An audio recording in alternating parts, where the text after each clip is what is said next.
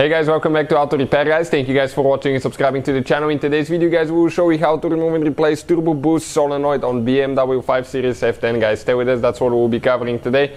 Quick introduction guys, every single car we get at the shop, including this BMW here guys, we make more than 200 videos. On this one here, I think we'll even have close to 300-400 videos. We'll be taking it completely apart. Why we guys do all that? Simply because our mission in the shop is to save you guys as much money as we can. All we need in return, please subscribe to the channel and like the video guys. Hopefully you will find information helpful. Now, uh, if you guys need to buy a new part, any of the tools that we use in the videos, you can find a link in the description of the video below. Check it out, all that will be shared there for your convenience. So we have a 2013 BMW 528i that we'll demonstrate on, but I think it will work on uh, different engines as well. So uh, we will explain how things go, uh, what we need to do, everything from start to finish. Stay with us and we'll start on it now. So as you can see, uh, the only thing missing right here now is the engine air filter box assembly with the holes. Why? Because we'll be putting a new timing chain guys. As you know, this is a very weak spot on that engine and we'll have the whole video from start to finish how to remove and how to replace the timing chain. So now on the back side guys, right here, okay, you need to disconnect these two hoses with a clip removal tool.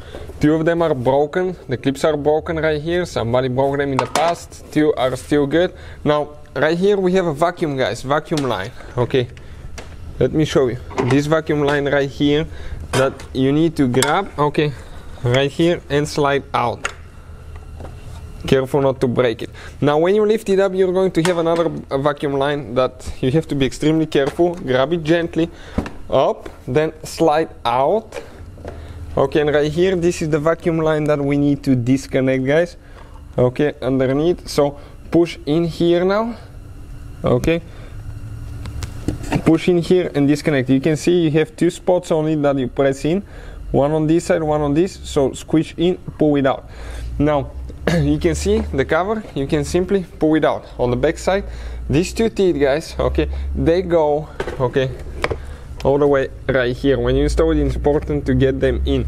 Another thing guys on the front okay you have two bow two, two bow clips, one here, one over there, that attach guys, okay, to the front side of the engine over here. Okay, and you have a third one, okay, right there, which is actually located all the way to the engine computer. So those are all the clips guys, and that's how you remove it. Careful here with vacuum lines, later you have to connect everything, otherwise your car will not perform right and you may get a uh, uh, code for vacuum leak, turbo problems, because that's the turbo vacuum boost solenoid, guys. So once you guys remove the engine cover, okay, once you get that engine cover out of the way, we can actually see where that uh, turbo boost solenoid is located, guys.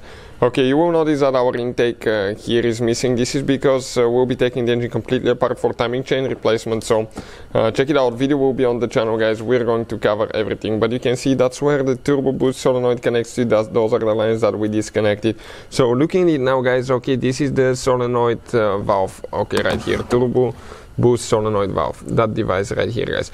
So we need to disconnect the wiring harness by pressing down and pulling out. Okay, perfect. Now, right here we have another vacuum line that goes to the turbo boost. Okay, that we, we can actually disconnect that one when we remove it. Okay, I think we'll be able to pull it up a little bit and twist it that way. We can get it out. Uh, those are the tools that we'll need to use for that repair, guys. All the tools and parts that we use in our videos. You can find the links listed in the description of the video below for your convenience, guys. Please check it out. So, uh, what's the socket that we need? Okay, this is a Torx Torx 30 star looking bit guys right there Torx 30 so we're going to go ahead remove one bolt now I'm going to hold it with my hand remove the bolt here